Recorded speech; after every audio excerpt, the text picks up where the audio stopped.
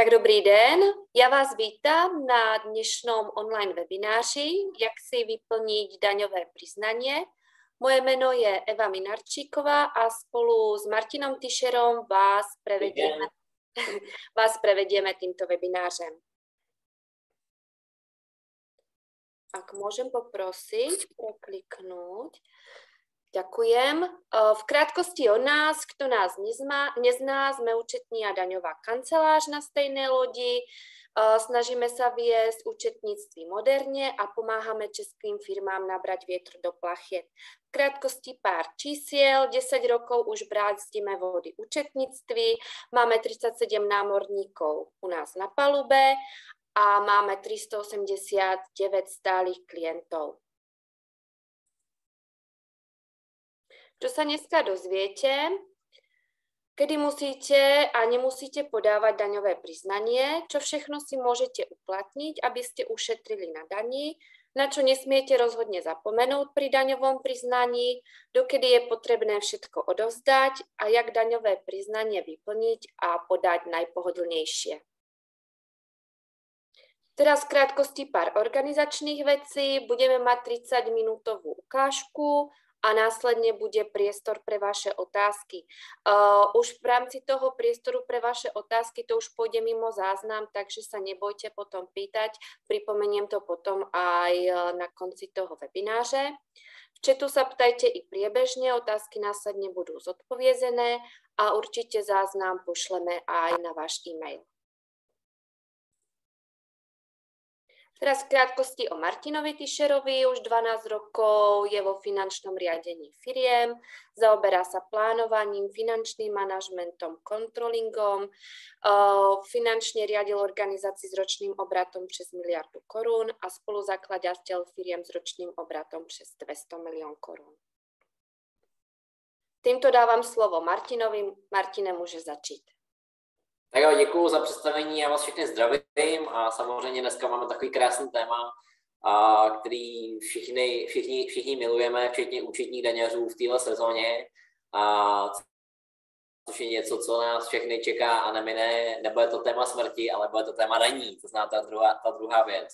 Já začnu tím, a, kdy vlastně není vůbec potřeba nic řešit, kdy ne, nepotřebujete nebo nemusíte podat, a, podávat vlastně daňové přiznání, a což jsou vlastně jako až nějaký jako velký výjimky, v podstatě tyhle ty tři, a, tyhle ty tři možnosti, pokud nemáte vůbec žádný příjmy. Jsou takový lidi, co a, byli třeba vyhořelí v roce 2021, pak si dali celý rok pauzu, nemají žádný příjmy, ty opravdu nemusí, a, nemusí a, podávat, podávat a, daňové přiznání, pokud nemají, nemají otevřenou živnost. A, Druzí, kdo nemusí, pokud jste zaměstnancem, nemuseli jste, nebo ne, neměli jste souběh zaměstnání, ne, nebyl jeden měsíc v roce, kdy jste měli dva zaměstnavatele zároveň, v tom případě můžete požádat uh, zaměstnavatele o roční zúčtování daní a může vám být nějaký přeplatek a je to vlastně ale vaše právo, není to povinnost a ani pokud toho nevyužijete, tak uh, daní přiznání řešit nemusíte, ale opaku, neměl by tam být ten souběh zaměstnání, za nemám, nemám dva zaměstnavatele, v průběhu roku, který se mi vlastně v rámci jednoho měsíce překrývají.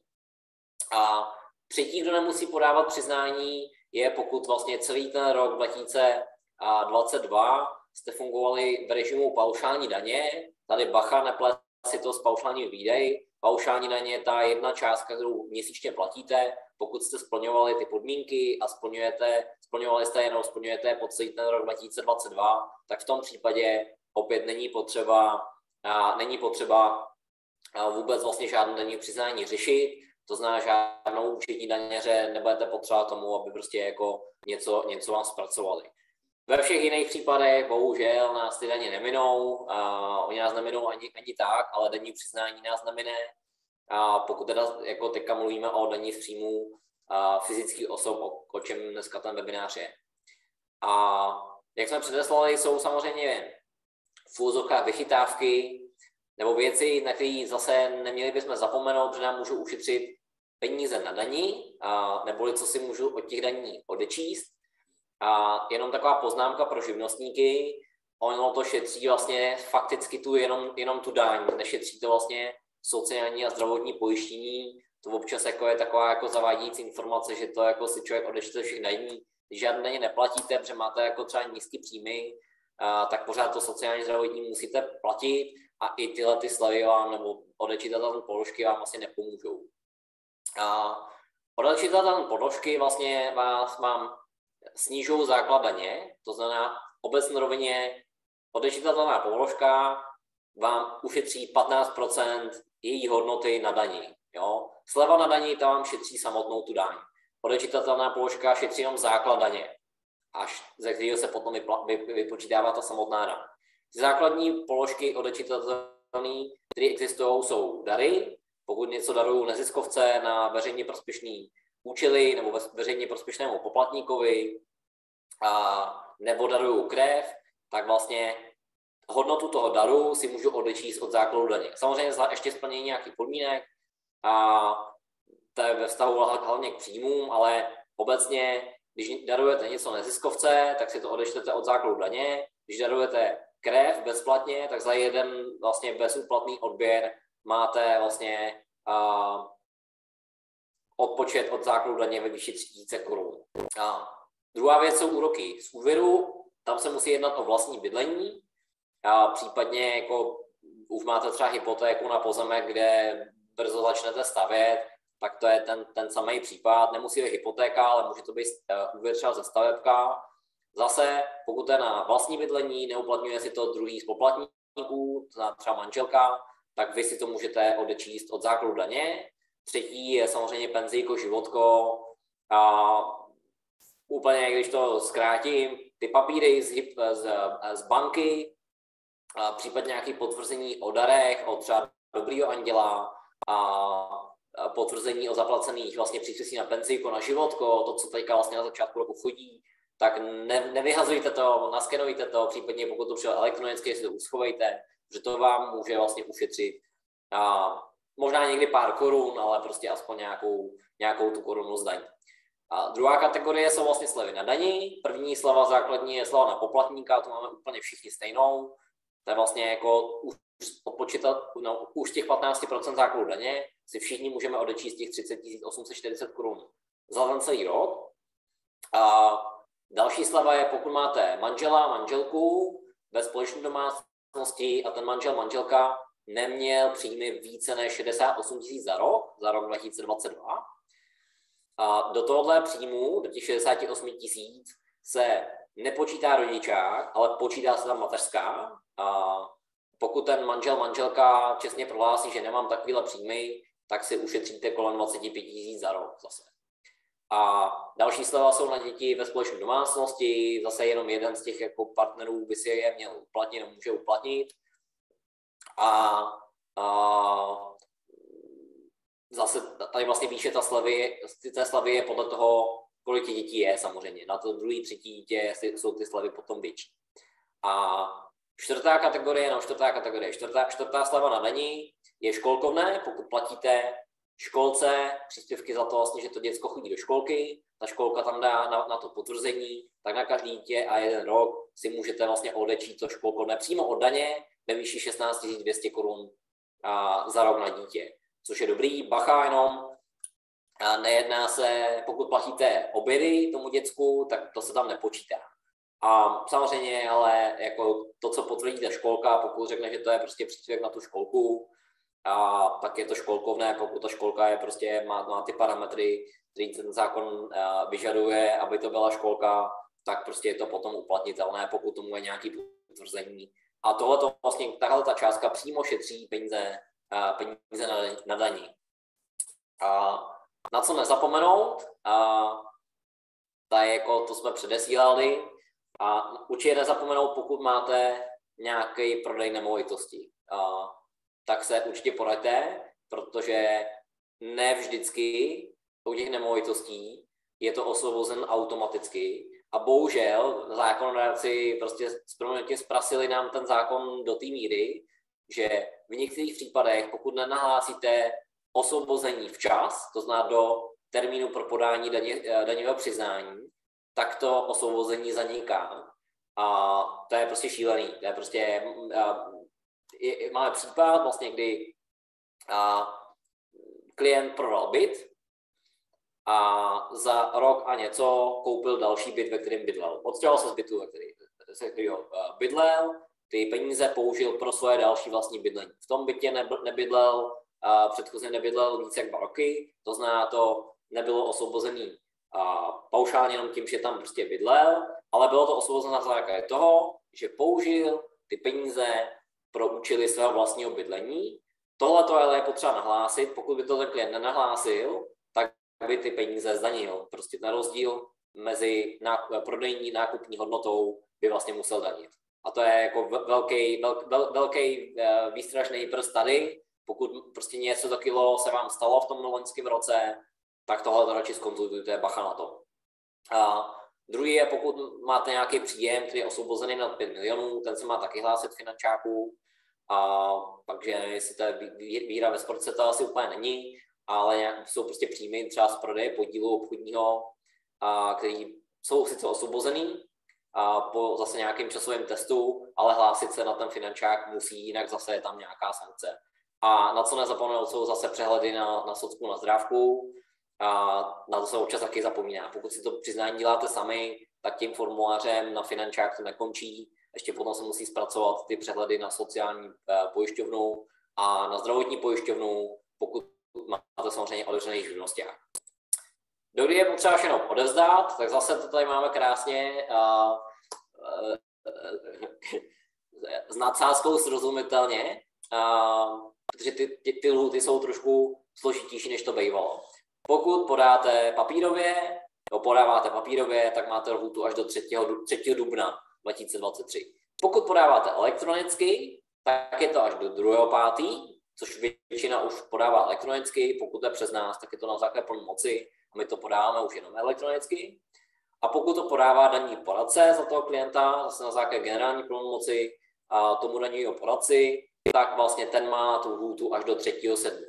Až sem je to jednoduchý. A pokud, nebo to, jaký jsou ale lhuty pro platbu? Platba, pokud podáte, a jedno jestli elektronicky nebo papírově nebo před, přes daněře, do 3.4., tak je ta splatnost 3.4. Pokud podáte elektronicky, mezi 4. 4. a 2. 5. a jedno jestli vy, anebo daňař, tak je splatnost 2. 5. Pokud a podáte, no podává daňový poradce po tom druhém pátý, tak jenom v tomhle případě je splatnost až toho 3. 7.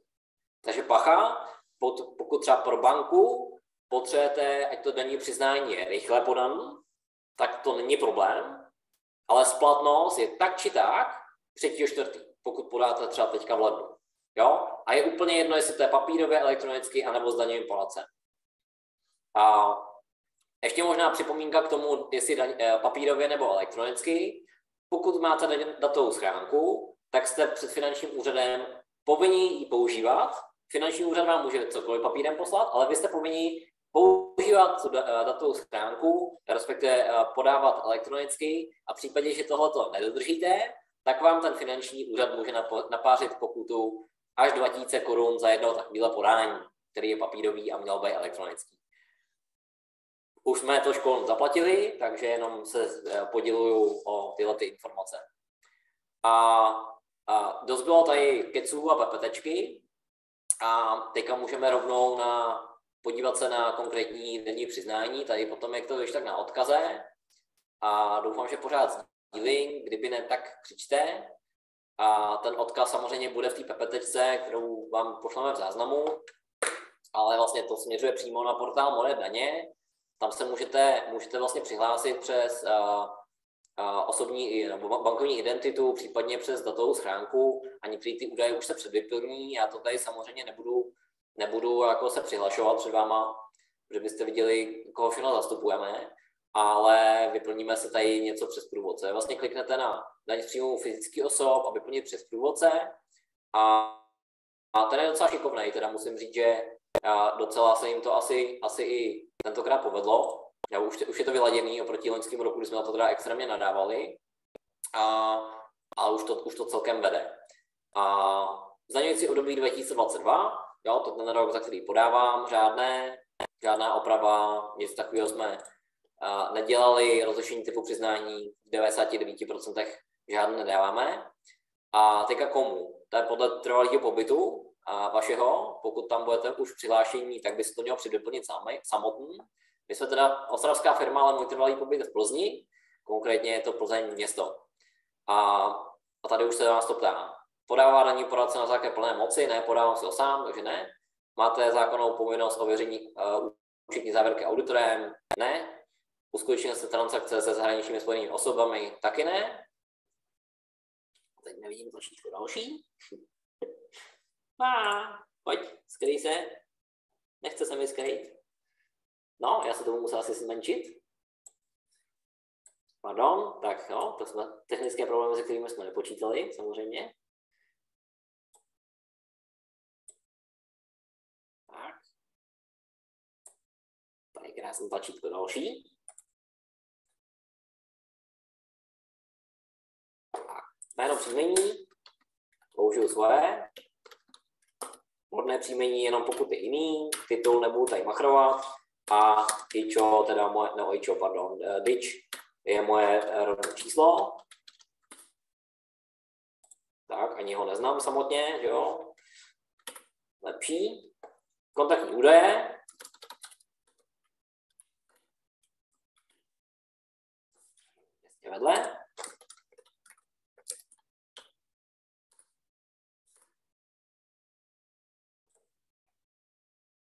Dát se úplně u těch cizozemců, telefon tam nějaký můžu dát, ani to vždycky nemusím, je dobrý ho tam dávat. A trvalýho pobytu k poslednímu dní kalendářního roku odložená od vaší současné, ne. Trvalý pobyt mimo území taky ne, takže zase můžu dát další. A tady se to ptá, zaměstnání brigády, jo, neboli příjmy za činnosti podle paragrafu 6. Mám nějaký zdanitelný příjmy? Ano, mám název zaměstnavatele, ten to dřív nechtělo, asi to ani není povinný pole, tak já řeknu, že zaměstnavatel mu je na stejné lodi CZ SRO. Tady strašně málo platí, takže já tam jako dám tady jenom nějakou jako takovou částku. Nic se mi nestrhlo, nic jsem nedostal zpátky. A dám další. A teoreticky, kdyby měl více zaměstnavatelů, tak můžu přidat další řádek a dát tam zaměstnavatele dvojku a tak dál. A ono ke, všemu, ke všem těm zaměstnavatelům to potom ještě bude chtít, bude chtít potvrzení o zdanitelných příjmech. A podnikání. Ano, podnikám, mám příjmy ze samostatné činnosti. Ano, mám. A vedu účetnictví daňovou evidenci, uplatňuji výdaje procentem, tohle je ta moje varianta. A převažující činnost je poradenství v oblasti řízení. Činnosti vedení podniku, poradenství v oblasti řízení. Tam máme 60% sazbu a moje příjmy byly, řeknu, 600 000 korun za ten rok.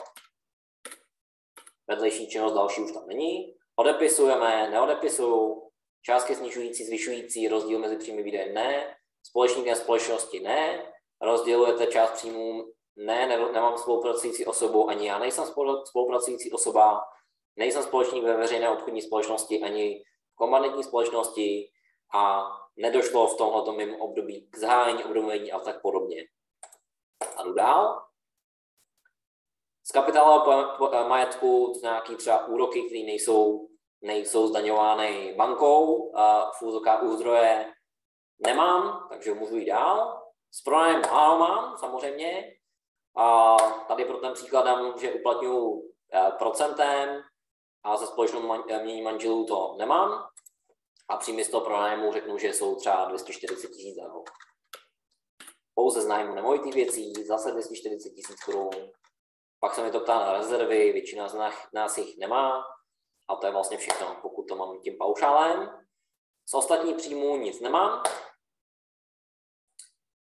A poslední už na tady dotazy. Zahraniční příjmy zaměstnání nemám. Států, se kterými má, má uzavřenou smlouvu zamezení do taky nemám a ze zahraničí, pokud zahrnujete do samostatného základu taky nemám. A teď už se to ptá vlastně na odpočty na slevy, takže dary, ano, poskytnul jsem, máme neziskovku a dal jsem jí 30 tisíc korun. Na krev nechodím, to se bojím, ale obdivuju všechny ty, co to dávají. Ano, hypotéku mám. Teď mi to odjelo někam pěkně. Ano, tady. Kolik jsem zaplatil na hypotéce, mám někde to potvrzení, nemám ho teďka v ruce, a, ale pro, náš, jako pro nás hodnost je to třeba 60, 60 tisíc na těch úrocích.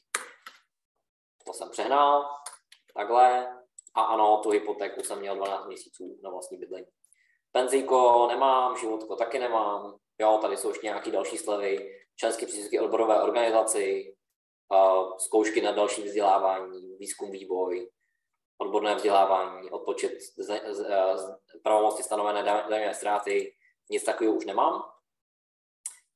A nezaměstnávám nikoho ze ZTP, zastavená exekuce nic, sleva, manželku taky nemám, invalidní důchod taky nemám, sleva na nárok ZTP taky nemám, student už bohužel taky nejsem a děti taky nemám. Tak, ta je ještě, jestli jsem zaplatil nějaký zálohy jako živnostník, a ta je myšleno zálohy na daň, takže nezaplatil. No a tady už je výpočet vlastně daně a kolik vlastně mi to vyšlo je 34 860, 860 korun a poslední přeplatek tady žádný není, nevím, proč se zobrazuje v průvodci, ale dejme tomu. A tady vlastně už to chce po nás doklad o tom a, daru, tady vlastně bych ho vložil, přetáhnul bych přílohu, uložil, pokud jich je víc, tak to veme i víc příloh a bude to chtít potvrzení o poskytnutém úvěru na bytové potřeby. A podepisující osobu nemusím vyplňovat, pokud jsem to já sám, takže tam, tam není potřeba. Zajímavé je, že tady není, že to chce potvrzení o zdanitelných příjmech, ale bude to samozřejmě řvát, takže ještě to úplně vychy tam není. Mám tady protokol chyb na konci, tak úhrn příjmu od všech zaměstnavatelů a nemá vykázány, ale tady je potvrzení o poskytnutém doklad bezúplatném plnění. Nechce? Tak nechce. Tak jo. Jako, samozřejmě se dávají vlastně potvrzení o zdanitelných příjmech od zaměstnavatele, a protože to ten finančák prostě chce. A může to rovnou poslat tady tím, bude to chtít po přihlásit se do datovky, já to samozřejmě nemám vyplněn korektně, takže nebudu odesílat. A může si to stáhnout a poslat to svojí datovkou, tady je vlastně v tom formátu XML. A co ale používáme, je dobrý stáhnout úplný opis PDF, protože ten průvodce vlastně nás navádí někdy otázkama ano, ne.